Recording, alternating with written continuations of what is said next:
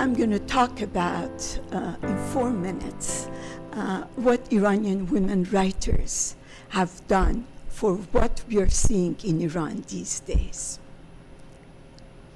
Should I let my hair loose in the wind? I will allure even the gazelles in the field, wrote Tahirih Qurratul Ain, the Iranian poet who unveiled herself in 1848 and caused a furor. Tahirih was declared a dangerous woman, a heretic, a harridan. And of course, she was sentenced to death. She was strangled with her own headscarf and thrown into the deep of a well. Strangling has a double meaning in the Persian language. It means to suffocate and to silence. Well, this particular strangling did not lead to silence. To the contrary, generations of Iranians sacrificed life and limb for desegregation, for women's visibility, voice, and mobility. Iranian women writers and poets, I believe, have been at the forefront of this moderating, modernizing movement.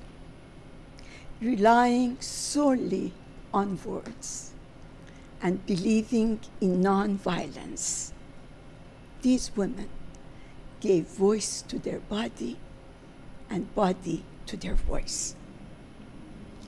Shahrnush Parsipur, who was imprisoned repeatedly for wielding the pen, describes this violence of erasure. I was entering the depth of darkness, the deep of the sea. I felt cold. I was becoming an absence. I wanted warmth. I wanted love. I wanted light. I wanted presence. I screamed, Why do you always keep me in the deep of the sea? And listen to what Guli Taraqi, another talented novelist, has to say about that. I made a rope made out of words and pulled myself from the depth of darkness, from the deep of the well. Small wonder then that Simin Behbahani lovingly um, named the lioness of Iran believes that to stay alive, women have to slay silence and invisibility. So, what we're witnessing in Iran, my friends, is a leadership revolution, but one which began decades ago.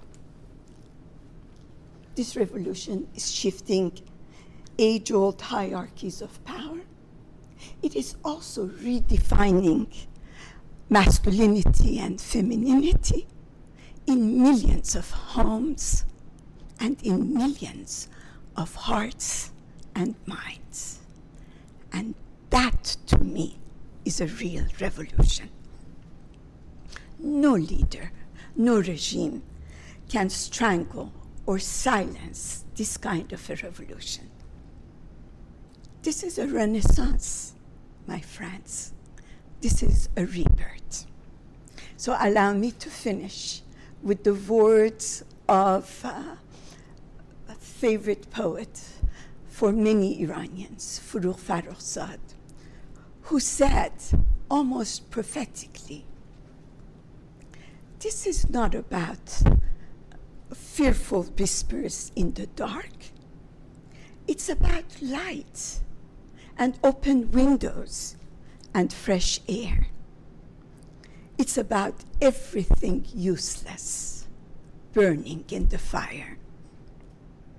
It's about a field pregnant with a new crop. This is about a rebirth.